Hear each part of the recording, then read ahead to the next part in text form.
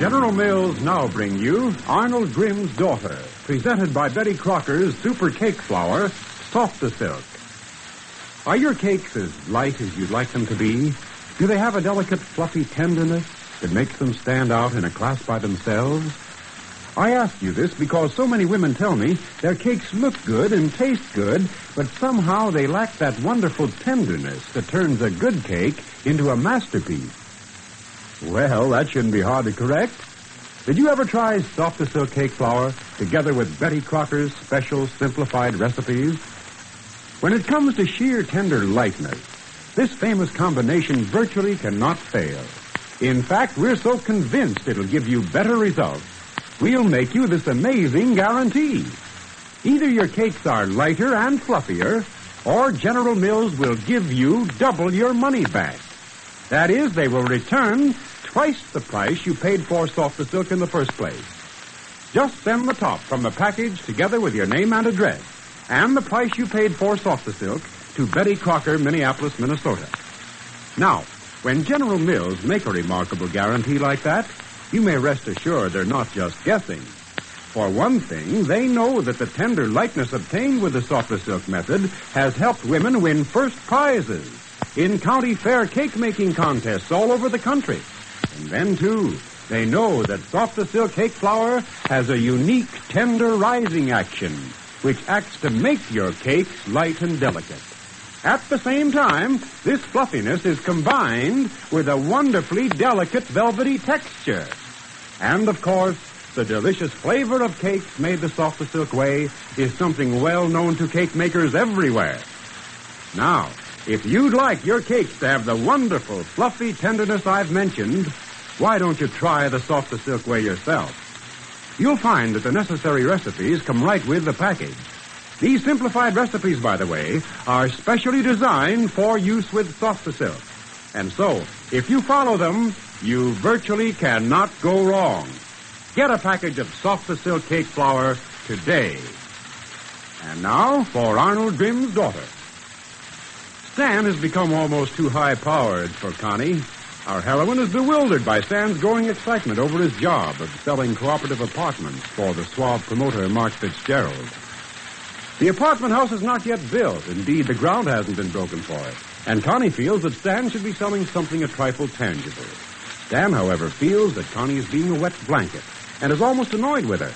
And as the action starts, it is late afternoon, and Connie, in her office at the Petit Bazaar, is busily pasting up the proof for a page in the Milford Courier.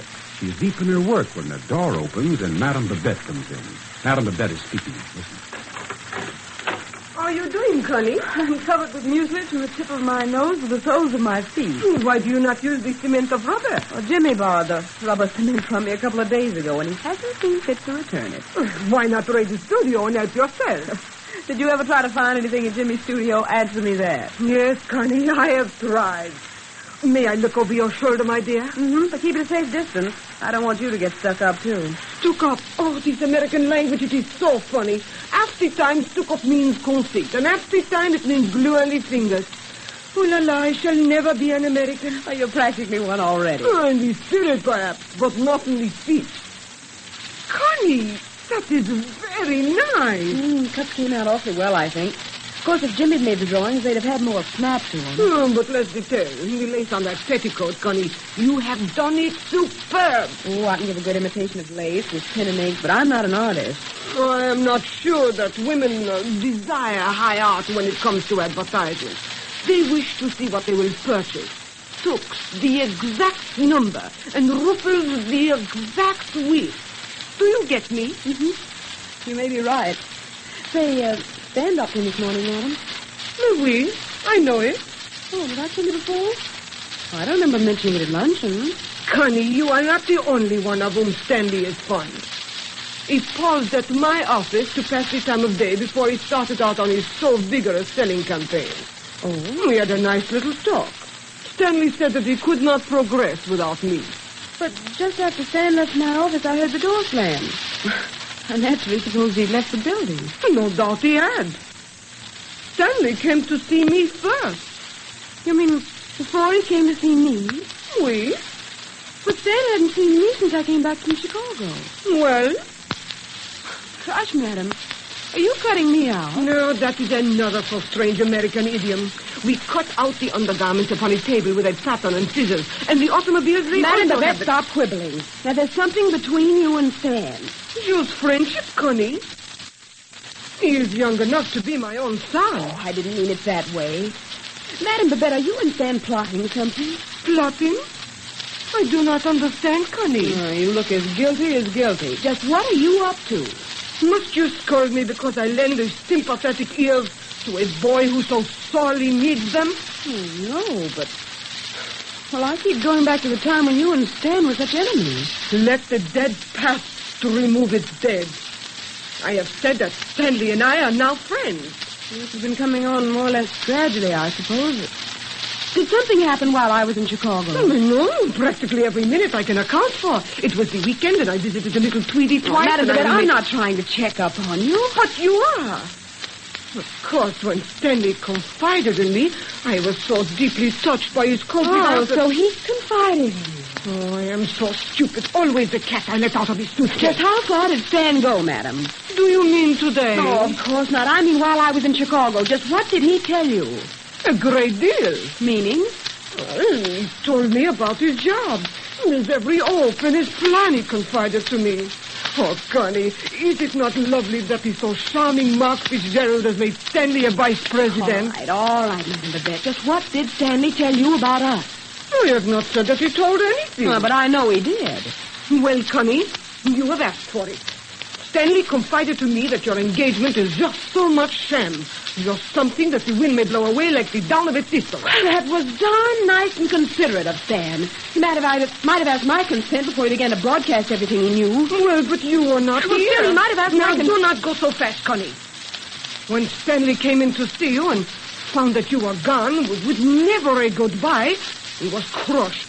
And I tried to comfort him, and, well, one thing led to another. Mm-hmm. Oh, and he shot the word. Huh? Oh, mais oui. Well, I can see with half an eye that turns won you over to his side. Well, c'est vrai. Of course, that's because he's a man. Women always side with men against other women. Especially when the right side is on the side of the gentleman. Oh, now, madam, how can you talk that way? The right isn't on Stan's side. You would be forced to say so. Nobody's ever more ready to admit they've made a mistake than I am. I'm not a prig, madam. I made plenty of mistakes in my time, and I bitterly regret every one of them. But while you were making the mistakes, you were so stubborn. Now take the case of Christopher Forrest. Everyone advised you to leave him alone. I still won't admit that Chris Forrest was a mistake. He gave me a great deal. Oh, he gave you a night in jail and an unpleasant court experience. Connie Stanley was generous in regard to Christopher Forrest. Never once has he said, I told you so. Yes, been very generous about Chris. And yet, just because there was one girl in his past, one single girl. Oh, Stan told you about Eve, too. But of course. Well, you didn't see her. Oh, but I know the type. Now, don't start defending that grand woman. She was, well, she was so hard. There is something so stimulating about such women. No, I'm beginning to lose my patience, Madam Babette. And I mine. Stanley told Mademoiselle Eve in front of you that he was finished. What more can you ask? But there had been something between them, and he had promised to marry her. So what? Oh, Connie, there is nothing so cold as a love that has burned itself out. It is colder than the ashes of yesterday's fire. I myself, though I have never met Mademoiselle Eve, can assure you that you have nothing to fear from her. Now you're being ridiculous. I never did hear anything from her. I'd be pretty darned ashamed of myself if I couldn't hold my own against a girl like Eve Graham. That was said with spirit. Oh, Connie. Connie, be honest. If you had loved Stanley enough, Eve would have been just the merest detail, like the lace which you drew with pen and ink upon the petticoat. You are using this so blonde one as an excuse for the weakness of your feelings for poor Stanley. Perhaps I'm... Well, why did you become engaged to him in the first place if you are willing to break things off like this? Oh, Stan was so splendid during the trial. He was so gentle and comforting and patient. Not the first woman to mistake gratitude for love, madam. No, nor the last. But mark my words, many a love that is begun with gratitude has lasted far longer than a love that has been built upon the shifting sands of passion and nothing else. Oh, I admit everything you say is... Madam must go, but shall we? I better get this ad back to the courier before they lock the presses. Well, I must get back to the planning of the trousseau. But let me tell you this, Connie. Something else. No, oui, something else. Stanley will go the limit to win you back. The moment he's on his feet again and has plenty of money and isn't discouraged anymore, I'll step out of the picture. Hmm, you only think that. Right, then I am a thinker. You had it your way and I had it mine. Stanley is trying his best, Connie. It will be a poor reward for diligence if you shut him out. Call me a tramp and be done with it, but I must run my own life in my own way. And I must learn to leave you alone so as to make your own grave error. But, Sherry, one slight favor do I ask. What is it? Be kind to Stanley for the next few days. He is rebuilding his own life just now, and he needs the applause. I realize that. Well, do not pour wet water upon his enthusiasm, Connie. You mean cold water. It's cold water and wet blanket, madam. I've heard quite a bit about both of them lately. No, please, Oh, all Connie. right, I promise. I won't be picky and I won't criticize darling Mark Fitzgerald and I won't ask embarrassing questions about the apartment building. But my questions are embarrassing when you come down to cases. Ah, that is a good girl. Why, Stanley, where did you drop from? I'm back from the wars, madam. Not on my shield, but with it. Your arrival was very pat, Stan. Did you and Madame Babette have this all fixed up? Why, anybody'd think that Madame Babette and I were in cahoots. Now, how could anybody think anything like that? Madam, you're a fraud. On my soul, Connie, I did not know that Stanley was in his shop. I knew that he would arrive about this time, of course. I bet you did. Well, all both of you and enjoy your mutual admiration society while I finish this ad. Well, I didn't intend to stick around, Connie, not just now. I'm going upstairs to take a shower and change my clothes. I'm all gummy and hot. Oh, God, oh, so tramping around in the east. Well, don't think I haven't been making hay while the sun shone. I'm going to get into my best bib and tucker because I'm taking the swellest girl in the world to dinner tonight. Well, hope you enjoy yourself. Well, that's not the point. I hope you enjoy yourself. Connie, I'm going to take you to our favorite roadhouse and ply you with rich viands. Oh, don't be foolish, Stan. Well, foolish my eye. But you can't afford it. Connie, when a man wishes to be extravagant on her behalf, a woman should never remind him that he cannot afford it. After marriage, the man will do the reminding. Time enough then. Snake. Don't put notions in Connie's head, madam. Sean, do not censor my speech. Stop it, you two. Stan, I know. You don't know nothing yet. This time, young lady, I won't have to borrow the cash to pay the check. I'm well heeled. Well, then save your money. Please, Stan. No, sir. I intend to take my best girl to dinner. But Stan, aside from everything else, I can't go. I'm covered with mucilage. You'll be all spick and span and beautiful, and oh, I'll be like the last rose of summer, all sticky and alone. Oh, Connie, your car is parked right out in front. Run home and change your clothes. Oh, but I'm so tired. Now, old Dr. Westland orders a little relaxation as a complete cure for that tired feeling. Well, I suppose it could be arranged. There's an angel. There's an angel. When we get to the dessert and coffee, Connie, I'll have a pleasant little shock for you. Hold everything until then. What is the pleasant shock that Stan has in store for Connie? And how will she accept it? Is Madam right? Has Stan still a chance to win back Connie's love? Or is she merely using the other woman for a mental alibi?